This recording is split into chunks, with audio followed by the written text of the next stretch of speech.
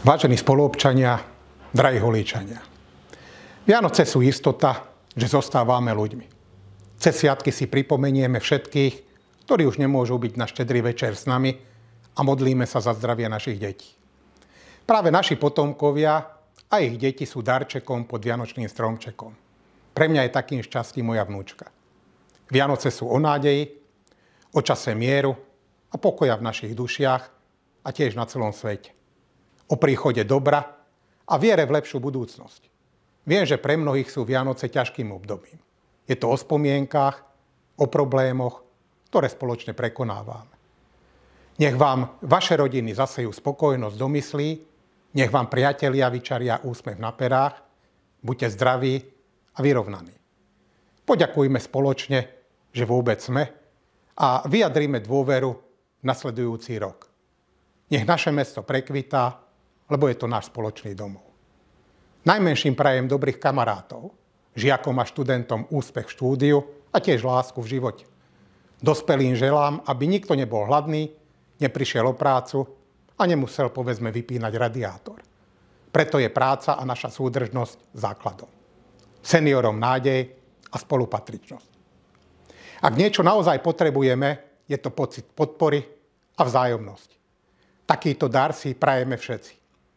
Spolu prekonávame obavy a nepokoj. Usmejme sa na deti, pochválme partnerov a potlapkajeme po pleciach svojich susedov. Darujme si navzájom istotu, že patríme k sebe. Ďakujem spolupracovníkom, poslancom a tiež všetkým občanom mesta. Ďakujem za pomoc humanitu, dobrovoľníctvo a nápady ako ďalej. Ľudia sú darom. Niekedy na to zabúdáme a Vianoce nám to vždy pripomenú. Priatelia, radosť a Božie požehnanie. Srdečne vás pozdravujem, vážení holíčania i všetci, ktorí sledujete toto vysielanie. Čo sa vám tak vynorí v mysli, keď povieme to veľké slovo Vianoce. Asi mnoho spomienok z detstva, mnoho ľudí, mnoho zvyklostí. Mne sa tak tento rok vynorili tieto tri slova a tri skutočnosti nášho života. Radosť, pokoj, istota. Áno, Vianočné sviatky sú o radosti, o pokoji, o istote. A to preto, lebo Boh sa rozhodol prinavrátiť Ježišovým narodením ľudstvu tieto úžasné dary. To, že sa môžeme radovať, a radosť nie je plitká, to, že môžeme prežívať vo svojom živote opravdivý trvalý pokoj a že máme istotu. Čo myslíte, kto sa najviac tešil z tých prvých Vianoc, alebo kto sa najviac tešil z Ježišovho narodenia? Povedali by ste Pana Mária, Jozef. Nie. Najviac sa tešil sám Pán Boh. Áno, sám Ježiš Kristus, druhá boská osoba, prežíval úžasnú radosť, že prichádza okamih, kedy uskutoční vykúpenie ľudstva.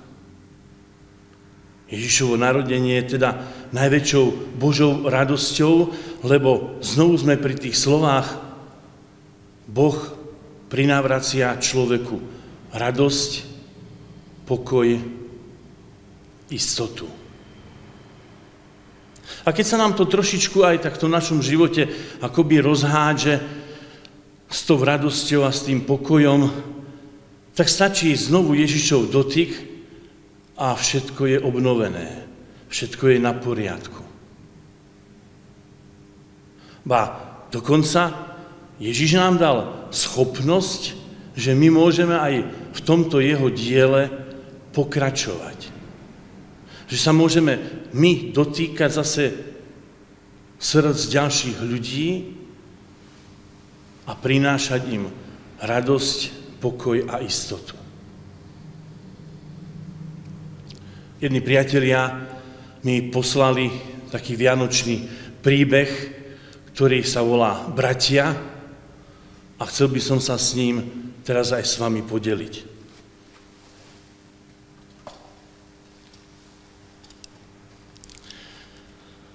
Tomáš dostal na Vianoce od svojho brata auto. Na štedrý deň, keď Tomáš vyšiel zo svojej kancelárie, uvidel, ako chudobný chlapec obdivuje jeho nové, nablískané auto. To je vaše auto, pane? Spýtal sa ho. Tomáš súhlasne prikývol. Áno, brat mi ho dal na Vianoce. Chlapec bol prekvapený. Chcete povedať, že vám ho dal brat len tak, nič vás to nestálo? Pane, kiež by. Chlapec zaváhal. Tomáš vedel, čo si bude prijať. Určite si chcel prijať, aby mal takého brata, akého má on, pomyslel si Tomáš. Ale to, čo si chlapec prial, bolo niečo celkom iné. Želám si, pokračoval, aby som bol takým bratom aj ja. Tieto slova vyrazili Tomášovi dých a potom sa spýtal, chcel by si sa povoziť v mojom aute? Áno, to by sa mi páčilo. Po krátkej jazde sa chlapec otočil k Tomášovi. Oči mu žiarili a povedal, pane, nevadilo by vám, keby ste ma odviezli domov? Tomáš sa usmial. Zdalo sa mu, že pochopil, čo chlapec chce. Chce sa pochváliť susedom, že môže jazdiť vo veľkom aute. Tomáš sa však opäť mýlil. Keď prišli pred dom, chlapec požiadal Tomáša, aby zastavil pred schodmi. Rozbehol sa hore po schodoch. O chvíľu sa vracal, no išiel ako si pomaly. Na rukách niesol svojho malého brata, ktorý bol telesne postihnutý. Posadil ho na spodný schod, potom sa k nemu pritisol a ukázal na auto. Tam je Adamko, Presne tak, ako som ti povedal hore. Brat mu ho dal na Vianoce a nestálo ho to ani cent. A jedného dňa ti dám presne také isté. Potom sa budeš môcť sám presvedčiť o všetkých tých pekných veciach vo vianočných výkladoch, o ktorých som ti rozprával.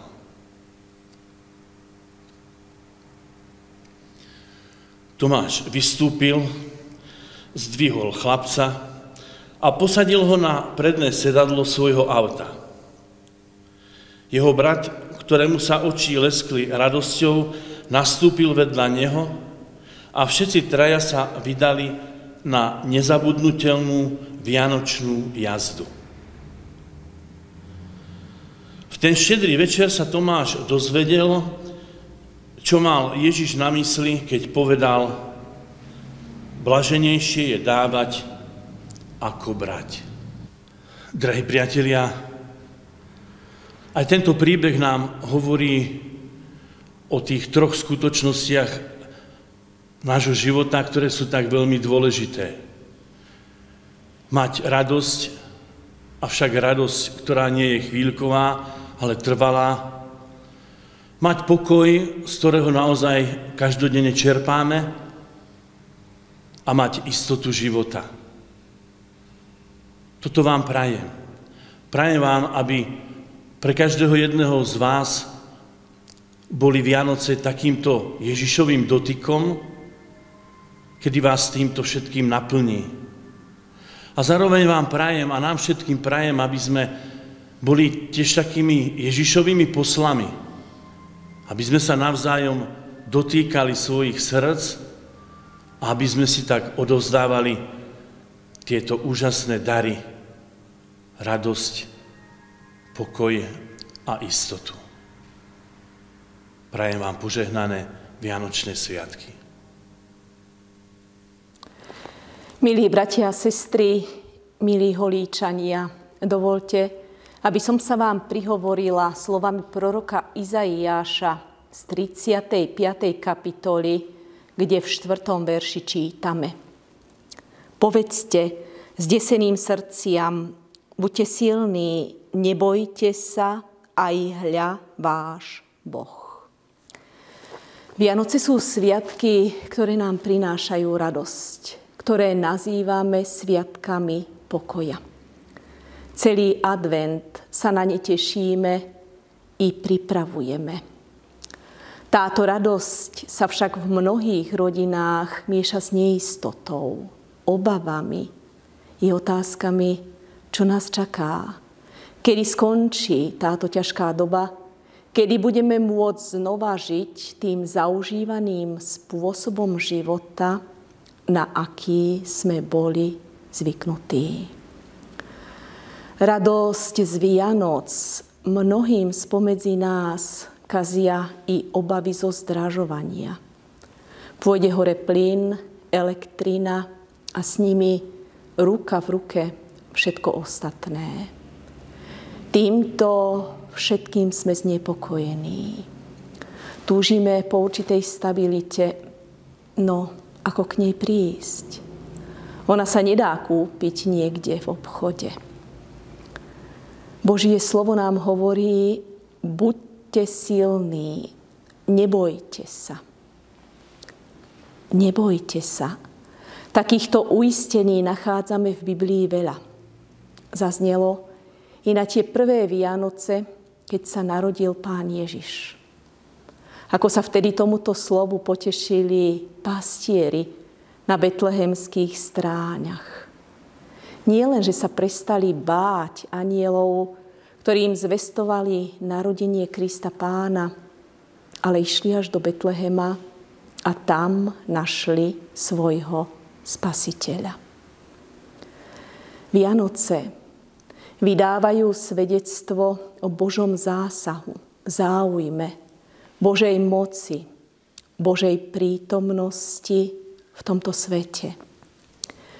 Pripomínajú nám, že Pán Boh nás neponechal samotných, ale nám zoslal Pána Ježiša Krista, Spasiteľa, záchrancu. V ňom nám dal jasne najavo, že mu na nás nesmierne záleží. Že nie sme odkázaní na seba samých, že On, náš Boh, je s nami. On je tou najstabilnejšou stabilitou. V tejto istote, že Pán Boh je s nami, sveďme nastávajúce Vianoce. V tejto istote kráčajme i budúcim rokom.